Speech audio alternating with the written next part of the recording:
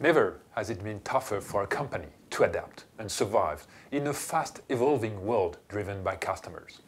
A world of acceleration where traditional business cycles have been fundamentally reshaped. A world of shifting power where consumers, not companies, now initiate, decide, and manage the relationship.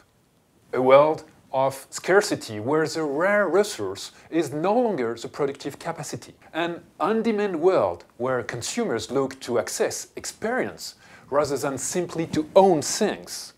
Think of film, music, and video games consumptions as examples. Natural selection has never been as fast as in today's world driven by consumers.